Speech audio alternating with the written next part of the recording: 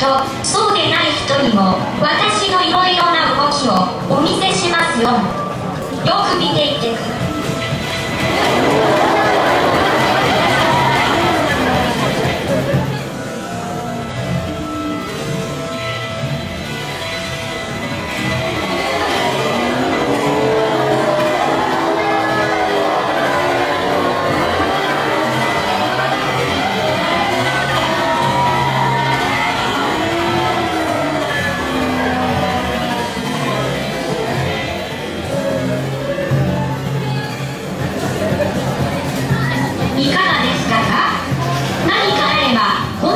に駆けつけますよ。足を使って歩いたり走ったりするためにはバランスを取ることが大切なんです。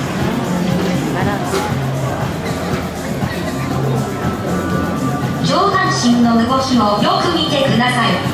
体全体を使って倒れないようにしていることがわかりますか？